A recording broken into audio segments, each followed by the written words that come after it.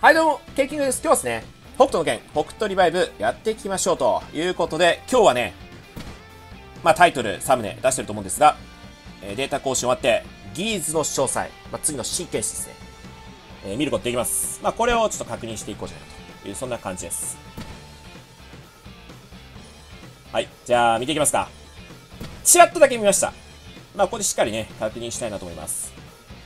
えー、まず極意からいきますか。極意は、水待ってました、水。水の新キャラ。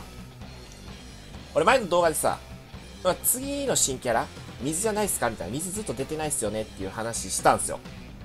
水ギーズ来ました。いや、最高っすね。これで、俺水2枚で使います。時と。いや、嬉しいっすね。その編成にしたかったんすよ。極意は。水2枚入れたかったんすよ。いや、これで組めますね。まあちょっとあの、霞慶四郎の話はちょっとまた後でやりたいなと思います。水と、プラス、死。いや、これは最高っすね。使いやすい。まあ水、水かよと思ってる方もね、いるかもしれないですが、まあ個人的にはね、かなり嬉しいですね。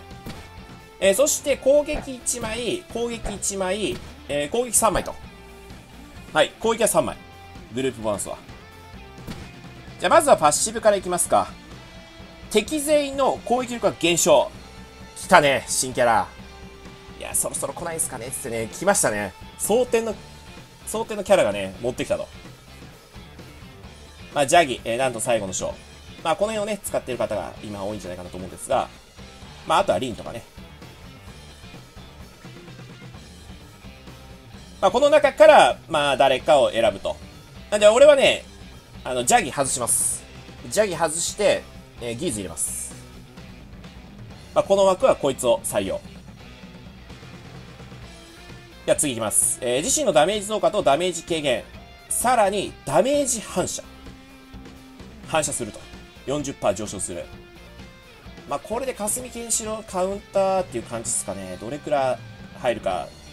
まあ、ちょっと見てみないとですけどね、これね。まあ、この辺は使ってみてですね。えー、自身の最大 HP20% 分のシールド、まあ、獲得していくと。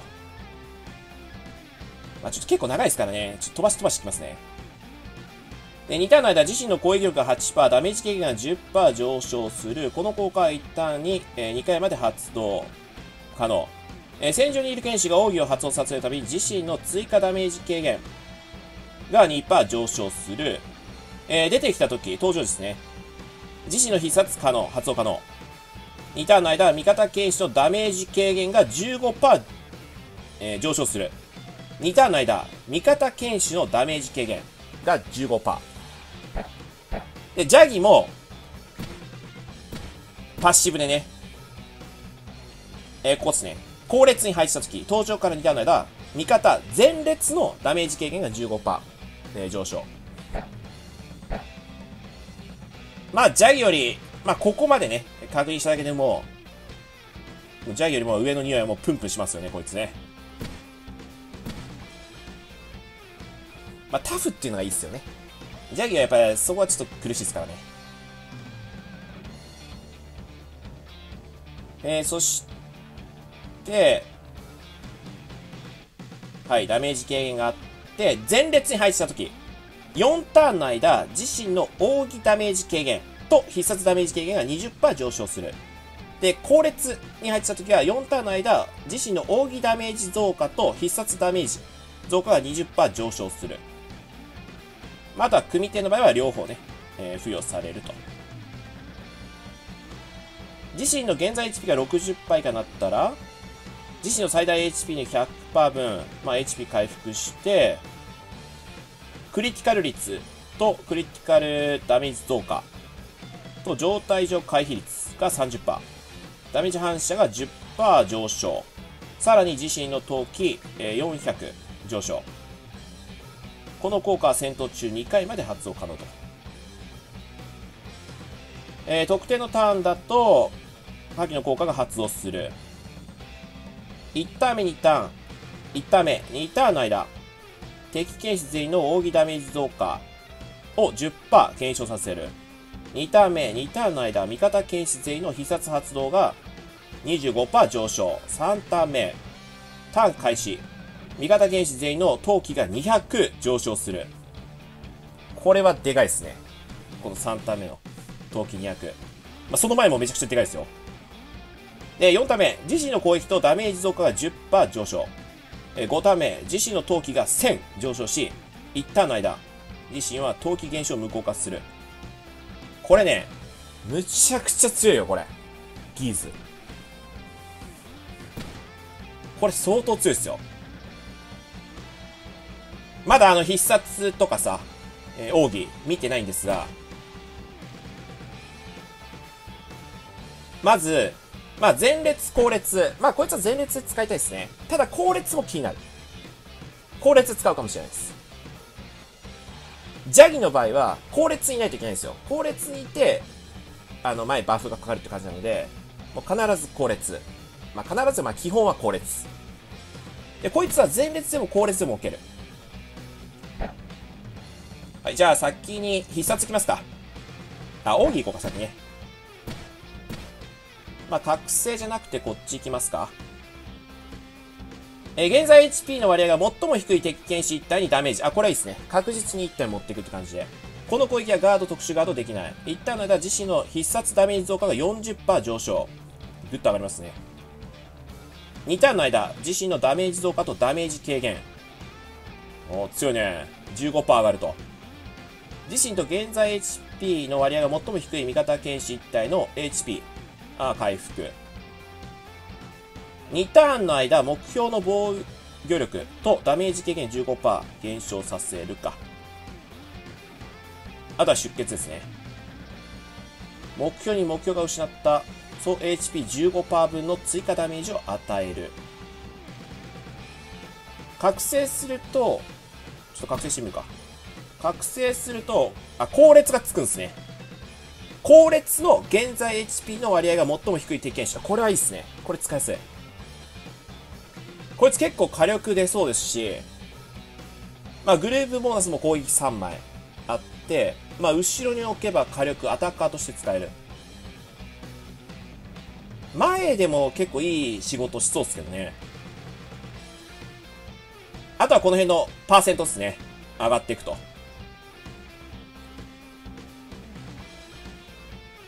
えー、さらに、ああ、必殺が発動可能。ああ、これも使いやすいですね。で、その必殺が、単体にダメージ。えー、一旦の間、自身の状態異常回避が60%上昇。冬季減少無効。自身の最大 HP の20%分、自身の HP を回復する。自身の自身を除く味方剣士ランダム一体の陶器が200上昇。目標の陶器を200減少させるか。こいつもまたなんか、いろいろついてますね。そうっすね。ここまで見て、まあ、ジャギを2段階、3段階、えー、強くさせたみたいな。まあ、3段階ぐらいですかね。強くしたっていう感じですかね。で、そうなってくると、やっぱ迷うのは極意じゃないですか。まあ、ジャギが外れて、水が入ってくると。じゃあ、代わりに、ちょっと水、まあ、氷をね、えー、ギースと思って見てもらえたらと。これがギースね。ジャギと、えー、氷を変える。で、これで水が1枚。で、今、血が2枚。で、ケンシロウが、霞ケンシロウ。霞ケンシロウが今、火になってます。で、ここを変えて、時を採用する。まずこうやって。で、これで水が2枚、今血が2枚なんですよ。で、もう1枚、風が欲しい。個人的には。だ風が2枚で動いていきたい。動かしていきたい。ギーズを前に出して、霞ケンシロウ、まずこれ血。これで血になってます。霞ケンシロウが。で、カイゼルを外して、で、これで血が2枚と水が2枚。で、今、風が1枚の状態。で、ここでケンシロウを、まあ、入れて、まあ、防御を固めていくパターンもあり。まあ、重剣その時前に置くかどうかちょっと置いといて。まあ、それもいいですし、まあ今パッとね、ギーズの、あの、性能を見て、まあ決めてるだけですからね。ちょっとこれは変わるかもしれないです。非2枚にするかもしれないです。そう言いつつもね。シャーザンとかを使って。まあ持ってる、まあ持ってる方が多そうなところで言うと、まあサウザーか。まあこんな感じでいいと思いますけどね。まあここはちょっとずらしてもいいんですが、まあこうかな。どっかで見たやろっつってこれね。そうです。あの無課金のね、あの編成です。三国位。地、火なしの地、風、水の霞剣士郎。まあこれね、すごい使いやすいんですよ。